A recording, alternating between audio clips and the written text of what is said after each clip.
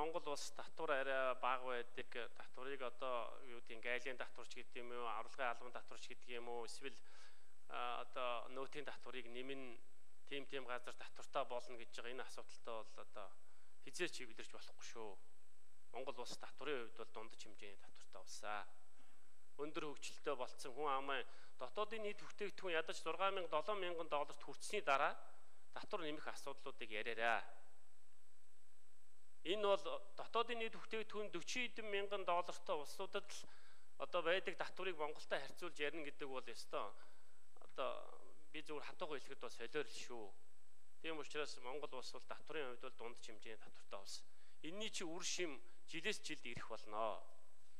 Аж ахуй нэгжүүдийг тодорхой хэмжээнд дэмждэг бодлогоо дэмжээрэй. Би зөвхөн гадаадын хөрөнгө оруулагч нар бол ямар нэгэн